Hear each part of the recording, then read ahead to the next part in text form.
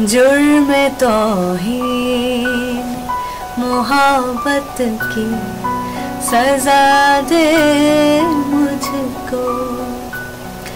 Hi, this is Harshdeep Kaur and this is the very first time that I'm working for Moviebox, and I'm recording a song for Moviebox, and it's a collaboration with Sarmad Qadeer. and um, I've heard his earlier songs and he is a brilliant singer and he has a very soothing voice. So it's great to collaborate with another artist. Um, the best thing about this song that we're doing is uh, that the lyrics are really beautiful and they're very meaningful.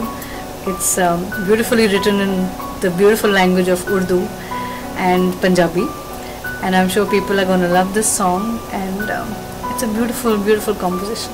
So, looking forward to the release of the song.